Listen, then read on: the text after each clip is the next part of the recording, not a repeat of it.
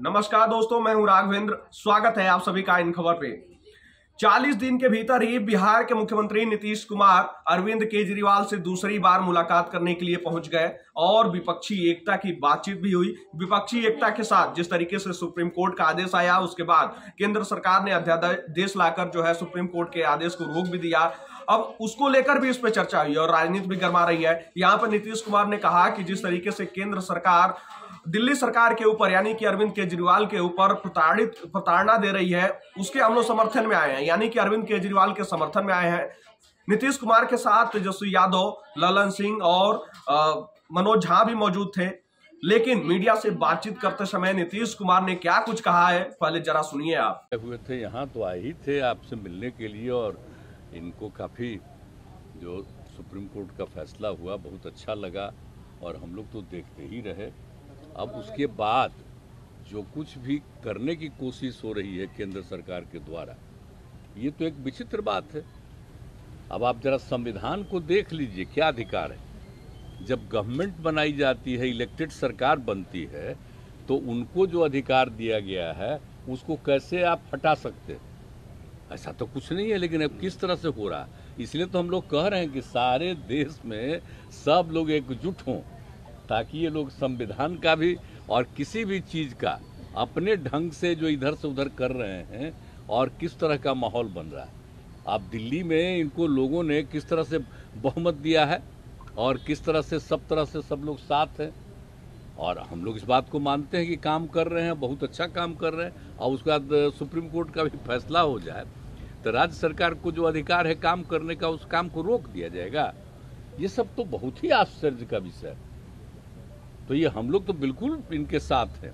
और जो कुछ भी है, हम लोग जो आगे भी जो मीटिंग करेंगे, जो हम लोग कोशिश कर रहे हैं कि ज़्यादा से ज़्यादा विपक्षी पार्टियाँ एकजुट हो जाएँ और मिल करके हम लोग पूरे देश में अभियान चलाएँ, हर राज्य में अभियान चलाएँ कि सब कुछ कानून का पालन होना चाहिए, आपस में सब लोगों के बीच में प्रेम और भाईचारे का भाव होना चाहिए।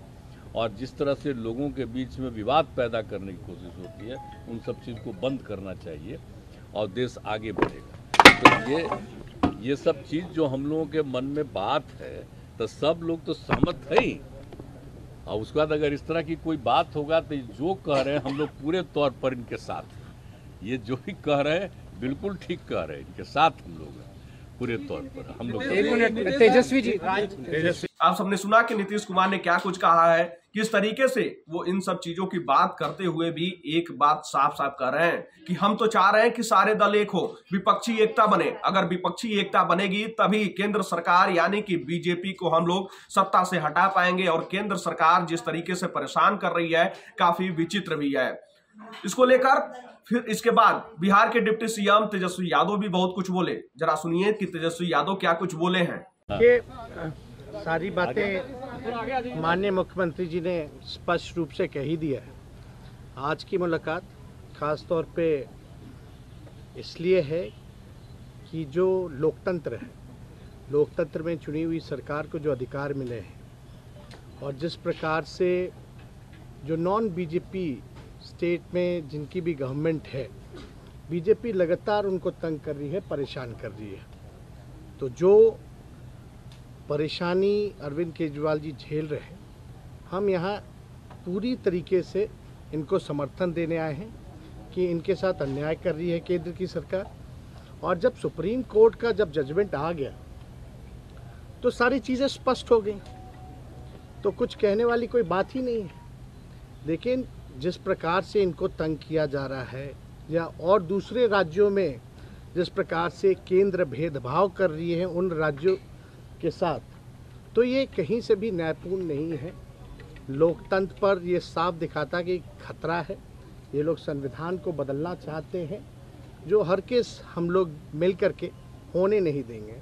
और मान लीजिए, अगर दिल्ली में बीजेपी की सरकार रहती तो क्या एलजी की हिम्मत होती इस प्रकार का काम करने की।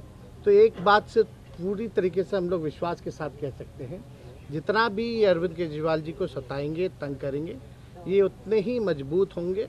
और मैं पूर्ण विश्वास के साथ कह सकता हूँ कि बीजेपी कभी भी दिल्ली में वापसी नहीं करेगी। तो हम लोग सब लोग इनके समर्थन में हैं और सब लोग मिल करके हम लोग जो है देश हित के लिए काम करेंगे। क्या गठबंधन को लेकर आप सबने सुना कि तेजस्वी यादव द्वारा क्या कुछ कहा गया है? नीतीश कुमार जिस तरीके से विपक्षी एकता बनाने में लगे हुए हैं, अब आप खुद ही सोचिए कि जिस तरीके से कांग्रेस के राहुल गांधी, खड़गे, अरविंद केजरीवाल, उधर जो है उड़ीसा के सीएम नवीन पटनायक, इधर ममता बनर्जी और महाराष्ट्र में उद्धव ठाकरे, आदित्य ठाकरे से मुलाकात करते हैं, विपक्षी एकता बनाने के लिए पूरे ज़ोर शोर से लगे हुए हैं। लेकिन इसी बीच ममता बनर्जी थोड़ा सा किनारा कसता हुआ नज़र आती है, जब उनके द्वारा कहा जाता है कि कांग्रेस कर्नाटक में तो जीत गई, लेकिन जहाँ जहाँ जो क्षेत्रीय दल जो है मज़बूत है, वहाँ पे वो दल ही लड़े। इस तरीके से अगर आगे का प्लान बनाया जाए, तब तो हम साथ देंगे। लेकिन अगर कांग्रेस ये सोचे कि विपक्षी एकता बने, हम सब साथ आए और कांग्रेस और जो है टीएमसी मिलकर बंगाल में चुनाव लड़े तो ऐसा होना संभव नहीं है। उससे नुकसान होगा। अब उधर ममता बनर्जी इधर से किनारा कसता हुआ नज़र आ रही है। लेकिन जिस तरीके से नीतीश कुमार विपक्षी एकता बनाने में लगे हुए हैं, चालीस दिन के भीतर ही दूसरी बार मुलाकात करने के लिए अरविंद केजरीवाल के पास पहुँचे हैं।